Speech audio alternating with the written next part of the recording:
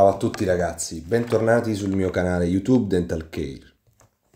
In questo video vi parlerò appunto dell'odontogenesi. Come dice il nome stesso, odontogenesi, stiamo parlando del processo, di quell'insieme di processi embrionali che portano alla formazione dei denti.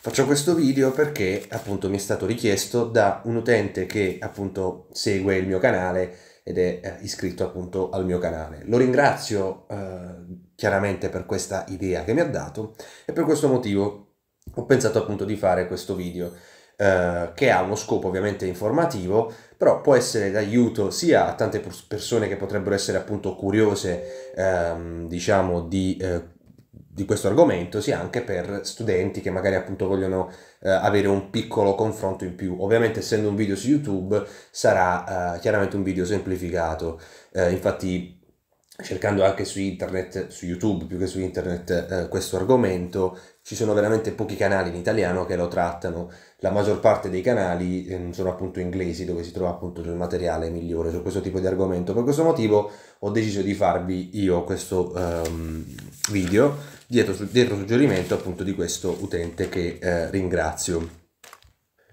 Ovviamente, ripeto, sarà un video molto molto semplificato e molto generale, mm, non posso chiaramente scendere nei dettagli di questo argomento che è comunque un argomento molto complesso. Prima di iniziare iscriviti al canale in modo tale che tu possa sempre rimanere aggiornato su tutti i contenuti che pubblico. Il 90% degli utenti che vedono i miei video su YouTube non sono iscritti al canale. È peccato perché appunto potreste perdervi anche tutti gli altri video che eh, sono appunto presenti sul mio canale. Ma iniziamo subito. Quindi abbiamo detto che l'odontogenesi è quel processo che, che porta alla formazione dei denti e rientra in una disciplina più vasta che è appunto l'embriologia L'embriologia non è altro che lo studio dei processi biologici con cui da una cellula uovo eh, che è fecondata dallo spermatozoo ha origine un nuovo individuo a livello dell'ampolla della tuba uterina. Infatti eh, c'è un so- una sola cellula uovo con milioni di spermatozoi, ma solo uno riuscirà appunto a raggiungere la eh, destinazione finale. E per andare appunto in maniera molto semplice e subito al punto, Fondamentalmente le fasi eh, di crescita dell'individuo sono queste, abbiamo la fase preembrionale, la fase embrionale, la fase fetale e il periodo della crescita. Le andiamo a vedere molto velocemente. Nel periodo preembrionale, che dura all'incirca tre eh, settimane, praticamente si verifica quello che viene definito come processo di gastrulazione, cioè si formano i tre foglietti embrionali primitivi. Poi si va appunto nel periodo embrionale che ha una durata di 5 settimane, in questo periodo si formano gli organi, eh, avviene la cosiddetta organogenesi del periodo più critico in cui ovviamente la donna non deve essere esposta a sostanze tossiche o a particolari situazioni perché dal momento che in questa fase sta avvenendo la formazione degli organi, qualsiasi processo anomalo potrebbe appunto interferire con la formazione stessa degli organi. Infatti in odontoiatria non a caso, eh, diciamo, durante il periodo dell'organogenesi è sconsigliabile trattare la donna in gravidanza, è proprio per questo motivo. Poi c'è il periodo fetale che va dalla settimana 9 fino alla nascita. Gli organi che si erano formati durante l'organogenesi in questo periodo tendono praticamente a maturare, l'intero organismo si prepara alla vita esterna e si formano anche quelli che sono gli annessi embrionali utili per connettere l'embrione alla madre per poterlo andare a nutrire. Alla fine poi si giunge al periodo della crescita, che va appunto dalla nascita fino all'adolescenza. E questo è un periodo altrettanto molto importante. Andiamo a vedere molto velocemente lo sviluppo della faccia, per poi arrivare appunto alla formazione e allo sviluppo dei denti. Lo sviluppo della faccia avviene praticamente attorno alla fine della quarta settimana eh, di vita embrionale, dove appunto il volto inizia a svilupparsi, ma da dove parte tutto? Da una struttura che prende il nome di stomodeo o stomodeo, come vedete appunto in questa foto è scritto qui, questa parte grigia è lo stomodeo. Che cos'è lo stomodeo? È diciamo una primitiva cavità buccale, una cavità buccale appunto dell'embrione in buona sostanza. Eh, si va infatti ad invaginare l'ectoderma, che è uno dei tre foglietti embrionali, e quindi si va a formare questa cavità. Eh, e quindi poi altre cellule, che si chiamano cellule della cresta neurale, migrano e formano due processi, processi frontonasali, che come dice il nome stesso daranno origine alla fronte e al naso, e gli archi branchiali. Gli archi branchiali daranno origine diciamo, a varie strutture del volto stesso e del collo. Ehm, e poi eh, arrivano anche altre cellule delle creste neurali sempre che andranno a formare il processo mascellare che andrà appunto a formare la mascella e il processo mandibolare che invece andrà a formare la mandibola. È chiaro che eh, il labbro superiore avrà origine dalla fusione dei, cioè da, dei, processi nasali e mascellari, mentre il labbro inferiore avrà origine mandi, dal processo mandibolare. Questo è diciamo in maniera molto molto molto semplificata lo sviluppo della faccia. È chiaro che nell'ambito dello sviluppo della faccia, poi è chiaro se siete interessati ad avere diciamo un video più approfondito su questo argomento soltanto posso farlo perché ovviamente è un argomento molto lungo, però io per arrivare alla formazione dei denti ve l'ho dovuto trattare molto velocemente, ma se volete un video specifico fatemi sapere. Poi si arriva anche allo sviluppo del palato che eh, è molto importante nell'embrione che si formi appunto il palato, perché? Perché ovviamente eh, durante la vita embrionale praticamente la bocca e il naso non sono separati, sono comunicanti tra di loro e quindi con lo sviluppo del palato si separa il cavo orale dalla cavità nasale eh, e questo è di fondamentale importanza per permettere per esempio anche la deglutizione. Eh, non a caso in alcune patologie che si chiamano appunto le schisi, le labiopalatoschisi, ehm, oppure anche patologie che vengono conosciute più che, più che come schisi, come per esempio labbro leporino e così via, praticamente c'è una mancata eh, chiusura, eh, una mancata separazione della cavità nasale da quella orale. O è completa questa mancata, diciamo, eh, chiusura oppure è parziale nella stragrande maggioranza dei casi. E quindi dai processi nasali eh, che abbiamo visto prima si forma il eh, palato. E quindi praticamente i vari processi palatini tra di loro mh, tendono a fondersi lungo la linea mediana per formare il palato definitivo, eh, il cui segno di confine è proprio rappresentato da questo puntino qui in avanti che eh, prende il nome appunto questo qui che vi sto toccando adesso che prende il nome di forame incisivo anche qui lo sviluppo del palato l'ho semplificato all'osso. Se siete interessati ad approfondire maggiormente l'argomento, fatemi sapere qui sotto nei commenti perché posso farvi un video dedicato solo sullo sviluppo del palato. Ma senza perdere tempo andiamo ancora avanti, anche per la lingua vale lo stesso ragionamento, se volete un video dedicato fatemi sapere sempre nei commenti. In ogni caso, molto velocemente, per quanto riguarda lo sviluppo della lingua, essa origina dal foglietto embrionale che è appunto il mesoderma. Quindi dal, dal mesenchima si formano due tubercoli laterali e uno mediano. C'è una fusione di questi vari eh, tubercoli e si forma praticamente eh, la parte anteriore della lingua. Si formano a partire da questi tubercoli i due terzi anteriori della lingua mentre dal terzo e dal quarto arco branchiale si formerà la parte più posteriore della lingua, quella che sta appunto più dietro, quindi il terzo posteriore della lingua. Velocemente anche lo sviluppo della mandibola. Per quanto riguarda lo sviluppo della mandibola, eh, essa ha origine dal primo arco branchiale dove c'è una cartilagine che funge da supporto nello sviluppo della mandibola che prende il nome di cartilagine del Meckel ed è assente negli individui agnati, cioè quelli che si nutrivano per aspirazione. Eh, la mandibola poi è comparsa per la prima volta nei rettili per favorire la predazione. La cartilagine di Meckel rimane fino a 15 anni e garantisce l'accrescimento della dimensione verticale e eh, degenera alla fine quando si forma appunto la mh, mm, sinfisi mentoniera che è praticamente la prominenza che abbiamo tutti quanti noi a livello del mento. Come ho già parlato nei video anche sulle leggi di Planas, la mandibola alla nascita è molto più piccola rispetto all'osso superiore, cioè alla mascella, e con allattamento al seno poi può appunto raggiungere delle dimensioni congrue. Eh, la mascella invece come si sviluppa? Non l'ho messa nelle diapositive ma ve lo dico anche qui molto velocemente. C'è un singolo centro di sviluppo e tutto parte intorno alla sesta settimana di vita intrauterina. E ma già alla nascita la mascella presenta già il 50% delle dimensioni che avrà in età adulta. Questo perché la mascella, essendo l'osso superiore, risentirà ovviamente della spinta di crescita dell'encefalo, che eh, ovviamente nel, nell'embrione e anche nel neonato, si sviluppa molto rapidamente, tant'è che la volta del cranio è una delle prime parti della testa a completare il suo sviluppo. Andiamo adesso invece sullo sviluppo dei denti, e quindi sulla odontogenesi, che significa appunto processo di sviluppo e di formazione dei denti.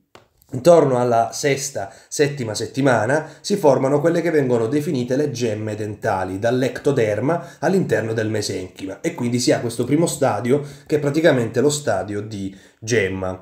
Dalla gemma dentale poi avrà origine l'organo dello smalto che a sua volta andrà a formare lo smalto dentale.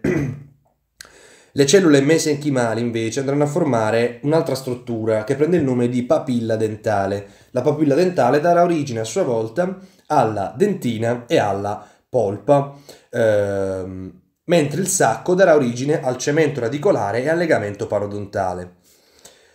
Poi successivamente abbiamo lo stadio di cappuccio, dove le cellule epiteliali dello smalto inglobano le cellule mesenchimali, fino ad arrivare allo stadio di campana, dove l'organo dello smalto, per via della crescita delle cellule, assume praticamente una forma a campana e le cellule mesenchimali formeranno gli odontoblasti.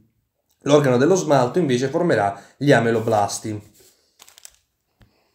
Andiamo un attimino a semplificare e riassumere quello che abbiamo detto dell'odontogenesi. Praticamente abbiamo la gemma dentale che eh, darà origine al cosiddetto organo dello smalto.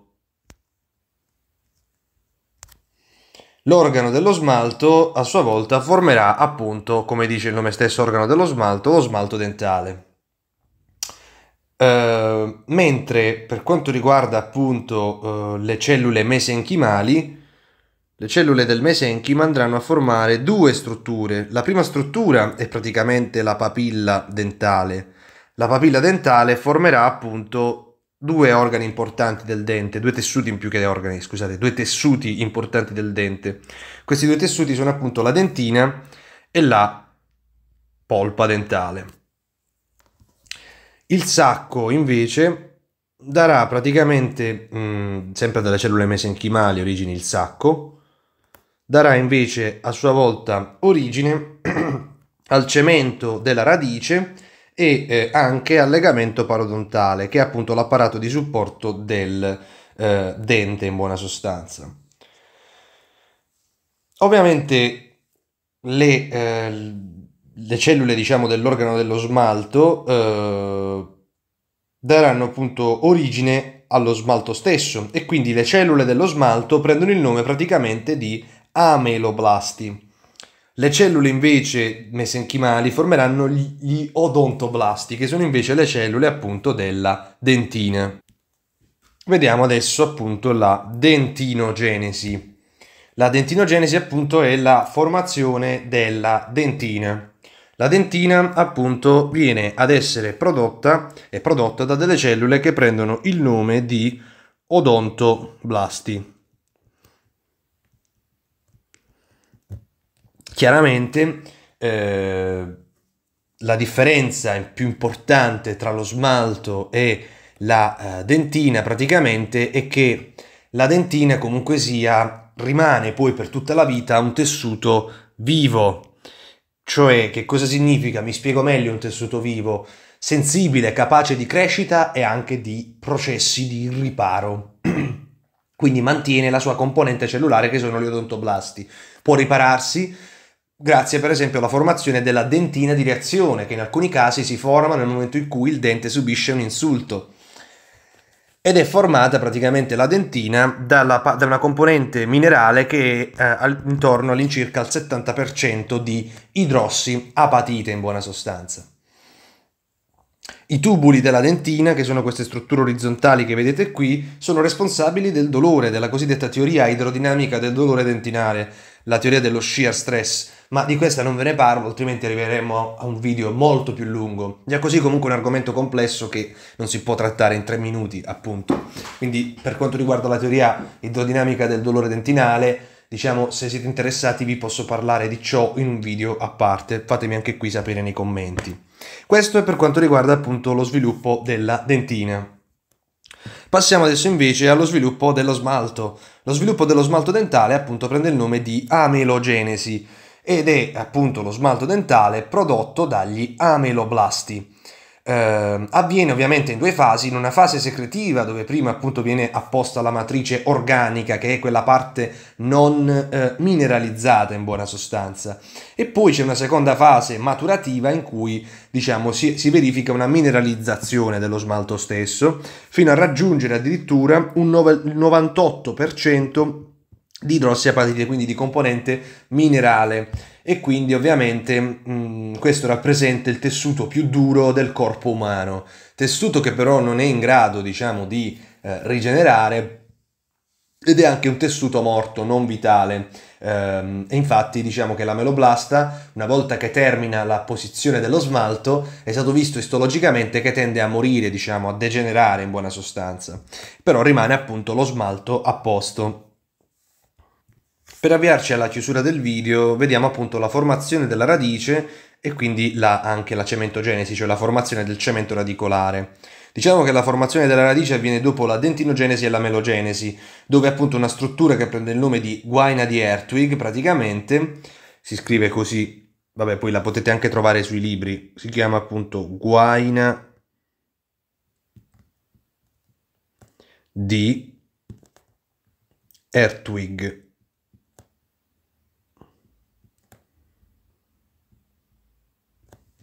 Praticamente questa struttura va a indurre la formazione sia del cemento che della eh, dentina, a livello ovviamente della radice del dente. Perché vi ricordo rapidamente, a livello della corona abbiamo questo strato esterno che è lo smalto del dente, più internamente abbiamo appunto la dentina, ancora più internamente abbiamo appunto la polpa del dente. Per quanto riguarda invece la radice, abbiamo appunto esternamente il cemento radicolare, internamente la dentina e ancora più internamente anche qui la polpa dentale.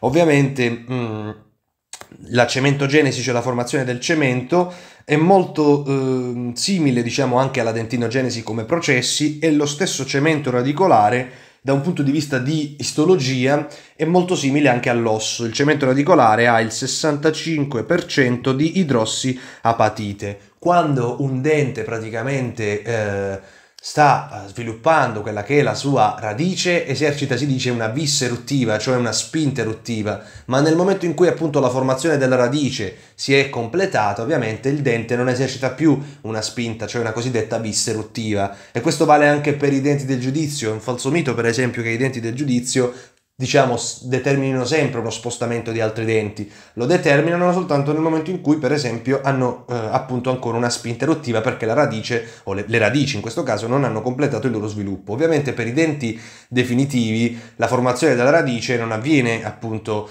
eh, subito, ma avverrà appunto durante le varie fasi della permuta dentale. Io spero che questo video vi sia piaciuto, iscrivetevi al canale, lasciate un mi piace, condividetelo con altri utenti, se avete bisogno di approfondimenti, dubbi, domande o volete appunto che approfondisca qualche altro tema con qualche video a parte sugli argomenti visti oggi e così via, fatemi sapere nei commenti o contattatemi tramite email, come preferite. Vi ringrazio e ci vediamo al prossimo video. Ciao a tutti!